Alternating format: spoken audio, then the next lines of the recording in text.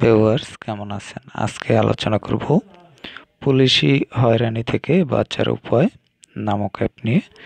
তো এই অ্যাপটির মাধ্যমে আপনি জানতে পারবেন কীভাবে পুলিশি হয়রানি থেকে আপনি বেঁচে থাকতে পারবেন।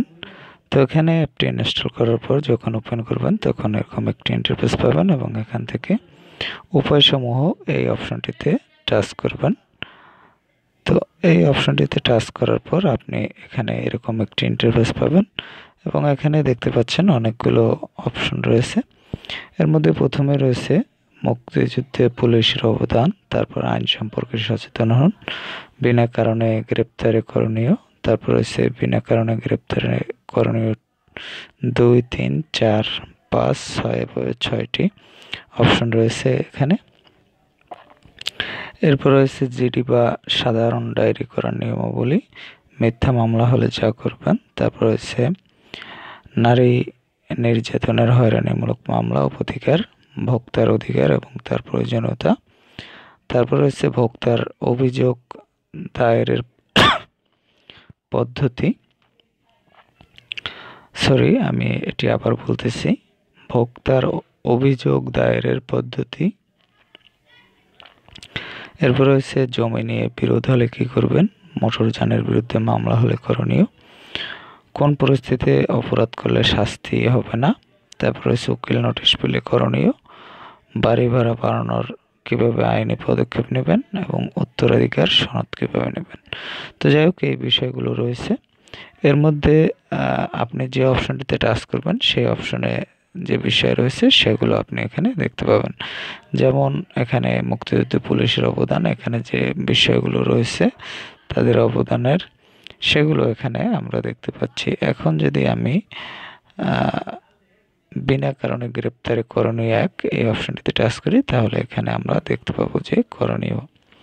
তো এখানে দেখতে পাচ্ছেন যে সন্দেহবশত চুয়ান্ন ধারায় যদি বিনা দোষে আপনাকে গ্রেপ্তার করা হয়। জেনে নিন, চব্বিশ ঘণ্টার বেশি আপনাকে আটক করে রাখার উপায় নেই। এক্ষেত্রে সম্ভব হলে দ্রুত কোনো আত্মীয়কে থানায় আসতে বলুন। তো যাই হোক, এখানে ডিটেলস দেওয়া রয়েছে। এখানে আপনি দেখে দেখে নিতে পারবেন যে কী কী করণীয় রয়েছে। তো এক্ষেত্রে আপনি জানতে পারলেন যে চব্বিশ ঘণ্টার বেশি আপনাকে সন্দেহমূলকভাবে আটকে রাখার বা আটক রাখার আইন নেই। তো যাই হোক এখন এখানে দুই, তিন, চার, পাঁচ, ছয় এভাবে রয়েছে। এখানে আপনার যেটি প্রয়োজন, আপনি সেই অপশনটিতে টাচ করবেন এবং টাচ করলে সেটি লোডিং হবে। এবং লোডিং হলে আপনি এখানে দেখতে পাবেন যে পুরো বিষয়টি। এরপর যে বিষয় রয়েছে, জিডি বা সাধারণ ডায়েরি করার নিয়মাবলী, এখানে জিডি বা সাধারণ ডায়েরি করার নিয়মাবলী রয়েছে। এখানে দেখতে পাচ্ছেন যে কি কি উল্লেখ করতে হবে। এখানে আপনি পুরো বিষয়টি দেওয়া রয়েছে।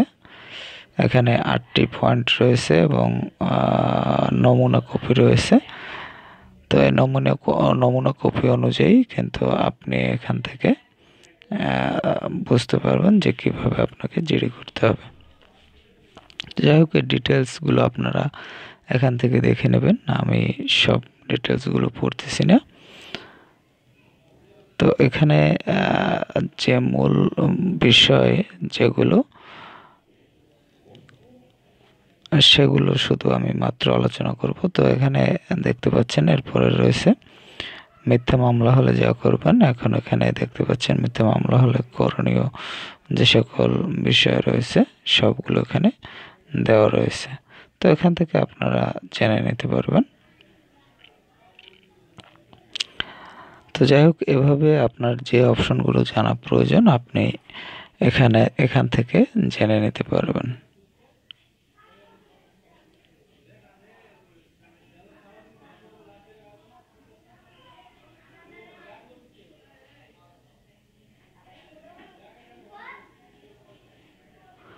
তো যাই হোক, এখানে আমরা দেখতে পাচ্ছি যে উকিল নোটিশ পেলে আপনাকে কি করতে হবে? করণীয় যদি আপনাকে কোনো উকিল নোটিশ করে, তাহলে এক্ষেত্রে কোনো ব্যক্তি নোটিশ পেয়ে থাকেন, তাহলে অস্থির না হয়। সমস্যার সমাধান করুন। নোটিশ প্রেরকের সঙ্গে যোগাযোগ করুন এবং অন্যথায় আপনি একজন আইনজীবীর কাছে গিয়ে উকিল নোটিশটি দেখান এবং আপনার সাথে নোটিশ প্রেরকের আসলে কোন ধরনের বিরোধ রয়েছে আসলে কোনো ধরনের বিরোধ রয়েছে কিনা সেটা বুঝিয়ে বলুন এবং সেক্ষেত্রে আইনজীবী আপনাকে আইনি পরামর্শ দেবেন। তো যাই হোক আর এতে আপনার বিরুদ্ধে মামলা মোকদ্দমা হওয়ার আগে ঝামেলা সমাধান করে ফেলতে পারবেন। তো যাই হোক, এই বিষয়টি আপনি এখান থেকে বুঝে নিতে পারবেন। আরও ডিটেলস রয়েছে এখানে। তো এখানে যে বিষয়গুলো রয়েছে বিষয়গুলো আপনারা দেখে নেবেন আপনাদের প্রয়োজন অনুযায়ী। এখানে দেখতে পাচ্ছেন উভয় সমুদ্রে বিষয়গুলো রয়েছে। তো এখান থেকে আমি ব্যাক করলাম। ব্যাক করার পরে অ্যাপে আর যে অন্য সব বিষয় রয়েছে, এর মধ্যে রয়েছে আরও অ্যাপ তাদের অন্য যে সকল অ্যাপ রয়েছে, সেগুলো আপনি এখানে দেখতে পাবেন। রেড করুন, এখান থেকে ফাইভ স্টার রেট দিতে পারবেন। ফেসবুক পেজে জয়েন করতে পারবেন এখান থেকে এবং শেয়ার এখান থেকে শেয়ার করতে পারবেন। তো ভিউয়ার্স এই অ্যাপটি যদি আপনার প্রয়োজন হয় তাহলে আপনি প্লে স্টোর থেকে ডাউনলোড করে নিতে পারেন। প্লে স্টোর থেকে ডাউনলোড করার জন্য আপনি পুলিশি হয়রানি থেকে বাচ্চার উপায় লিখে সার্চ করবেন, তাহলে পেয়ে যাবেন। এছাড়াও অ্যাপটি লিঙ্ক ডিসক্রিপশনে দেওয়া থাকবে, সেখান থেকে লিঙ্কে ক্লিক করে আপনি ইনস্টল করে নিতে পারবেন। তো ভিউয়ার্স ভালো থাকবেন, কথা বলার পরবর্তীতে অন্য কোনো অ্যাপ নিয়ে।